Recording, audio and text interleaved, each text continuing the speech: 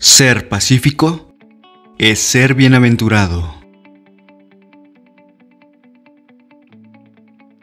Dichosos los que trabajan por la paz, porque serán llamados hijos de Dios.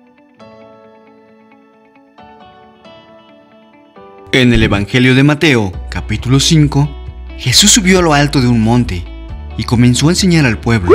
En un momento dado Jesús habló sobre las bienaventuranzas y señaló al que promueve la paz como un bienaventurado. En un mundo de pasiones afloradas o elevadas, ser pacificador, además de ser sabio, es ser hijo de Dios.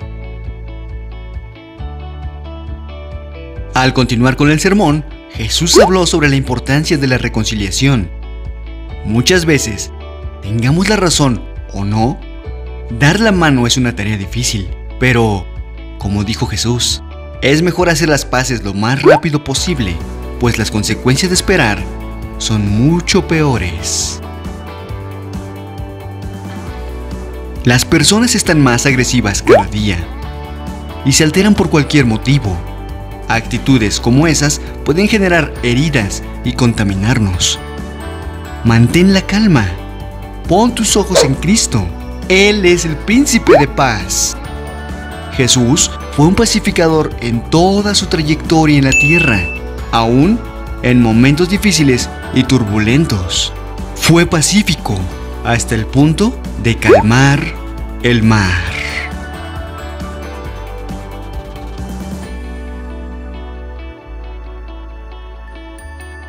¿Qué es lo que te saca de quicio? Intenta apartarte de las situaciones que te llevan a pecar Saber identificar esos momentos te traerá madurez. Siempre que haya una discusión, responde con moderación y equilibrio. Pide sabiduría y discernimiento a Dios. Busca al Espíritu Santo. Y hoy, cuando ores, no olvides pedir lo siguiente. Quiero aprender más de ti.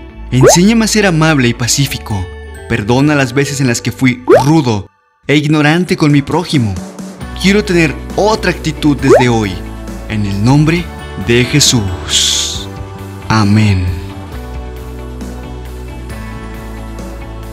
Comparte este video a más personas para que conozcan esta bienaventuranza.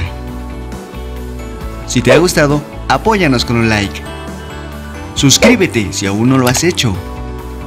Activa la campana de notificaciones para recibir más videos como este. Ah, y recuerda, porque buscamos que muchos más sean libres. Hasta el siguiente video. Que Dios te bendiga.